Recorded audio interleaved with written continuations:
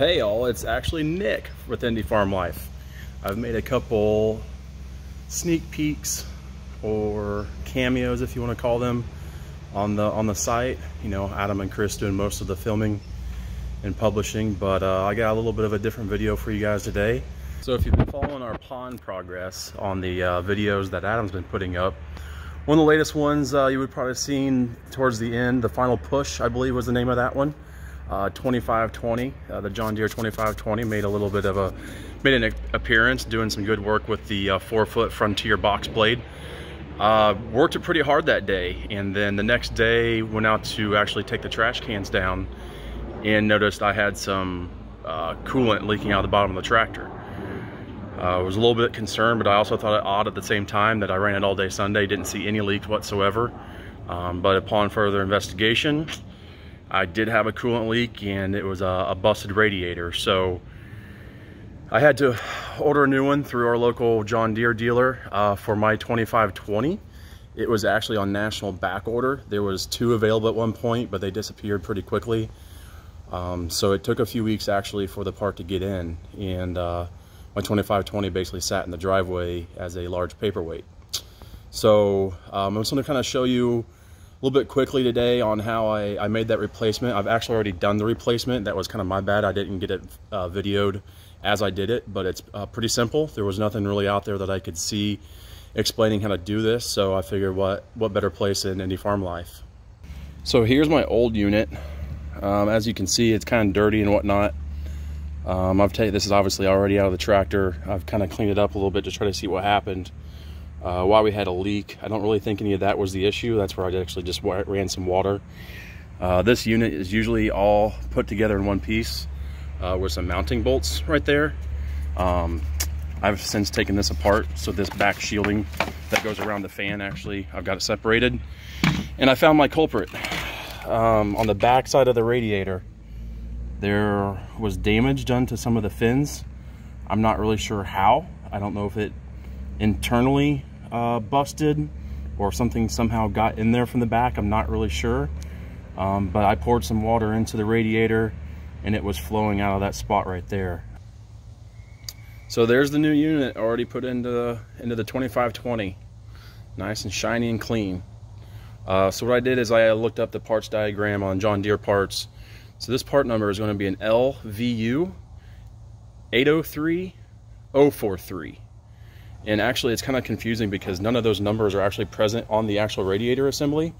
Um, there was some of these IA7530. There's actually another one that's on the back side here by the fan, an A7530 as well.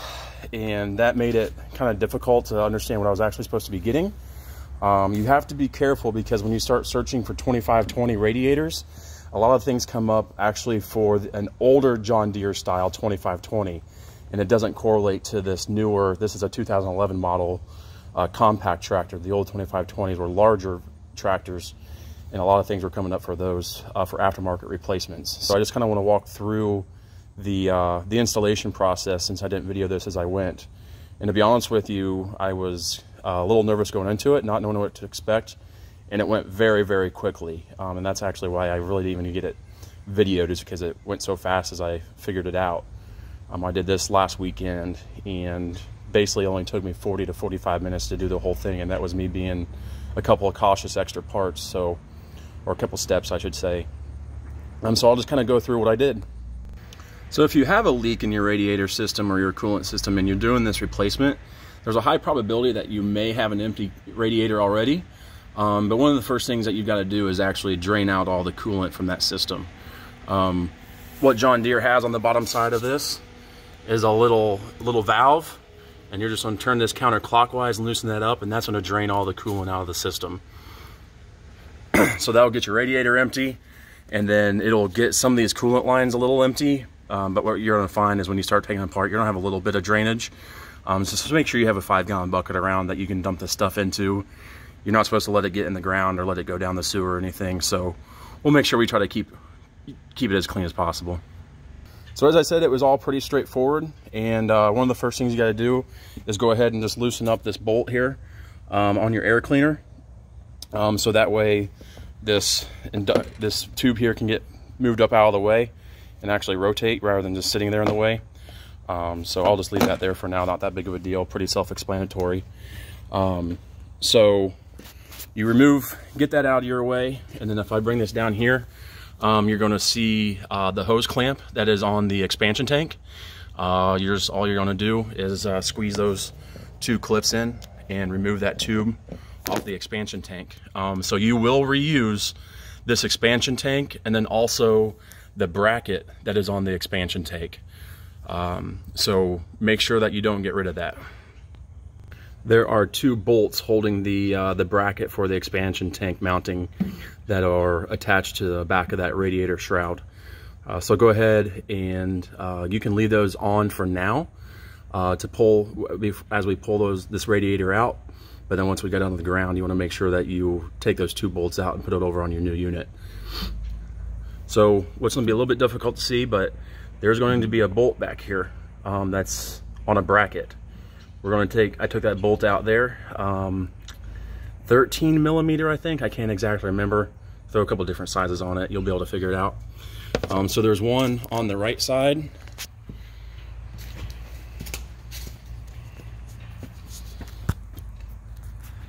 And there's one on the left side.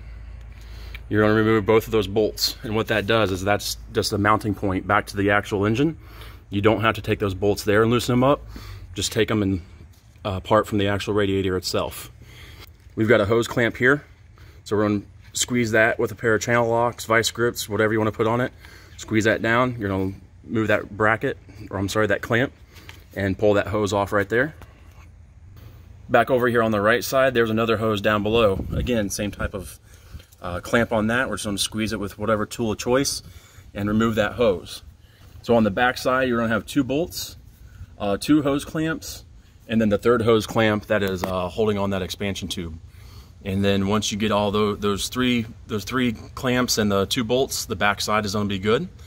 Um, we're going to leave that in place, like I said, for now. And then we're going to move to the front side of the machine. Now on the front side, both left and right, we have these uh, these bolt bracket mounting arms. I don't really know what you want to call them. It's kind of an awkward, awkward design. And what these are doing is they're just basically holding it to this coil system here. Um, so these are really easy as well. All you're gonna have to do is loosen up, uh, they have bolts on the back side. So we're gonna loosen up this bolt. I'm sorry, nut.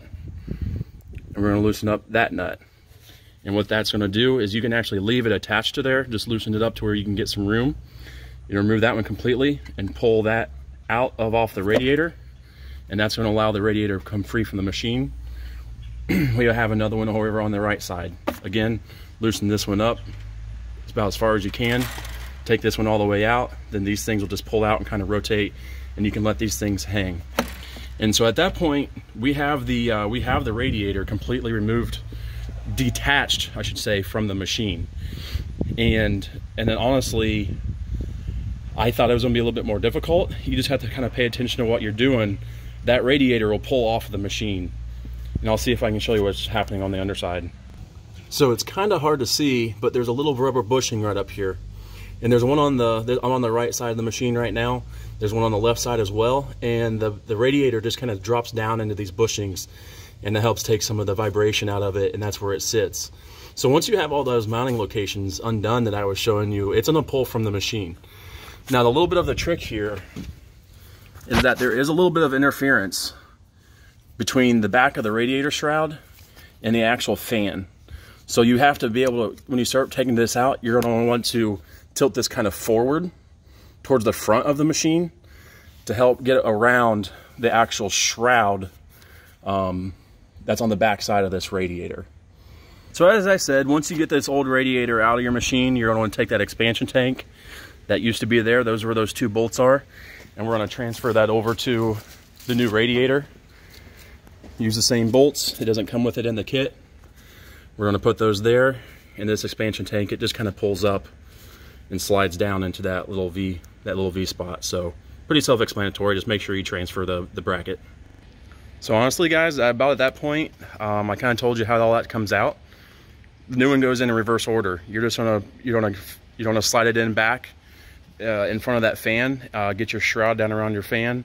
Get the, the two rubber grommets in line where it wants to be, and then put your, your four bolts and your three hose clamps back into, into its spot. So um, I'm not going to go through that a whole lot. And um, it's like I said, it only took me about 40 to 45 minutes. So I was, I was pretty pleased of how, how quick it went. Now, once you've got your radiator all back in place, you got to refill your coolant system, obviously. My 2520 uh, was spec to use this Cool-Gard 2, like 1.2 gallons or something like that. Of course, they sell it in one gallon sizes. Um, so I had to buy two of them.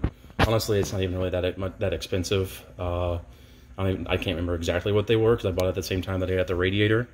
Uh, the radiator, uh, just as an FYI, uh, was priced at $479.99 cents. Um, kind of pricey, um, in my opinion, but it is a green part. Uh, John Deere loves doing that to us, but I was able to save on quite a bit of labor, I would think, by, by doing it myself, and honestly, it took less than the hour, so it was well, well worth it and a good payoff. So um, when you're doing this, make sure you grab, if you're doing it on 2520, you're gonna wanna grab a couple, a uh, couple gallons of this, and uh, just pour, open up the radiator cap, pour it all in there until it's towards the top, and then uh, fill up your expansion tank into the between the two lines, your full and your full and low lines, and uh, the expansion tank does have a, a bleed off on it, I believe, so I think it kind of self burps itself and gets everything moving like it wants to move. Well guys, I hopefully that my uh, first video for Indy Farm Life was helpful to anybody out there with a John Deere 2520 having to replace the radiator. Like I said, there was not a whole lot of help uh, out there that I could find, so uh, that's why I decided uh, IFL needed to be the place for it. Sounds like Chris is over there somewhere with the tractor, and I believe he is getting roped into the same thing that I am. And we get to plant flower bulbs today for the for our wives. Um, they really like their flowers, so we're gonna get those in the ground before it freezes over. Hey, I appreciate you watching. Uh, make sure you like, subscribe, join our page, uh, keep a lookout. I think Adam's got uh, one or two more pond videos coming. If they already haven't launched already, depends on when we get this loaded up. So we appreciate you watching and uh, spread the word. Thanks.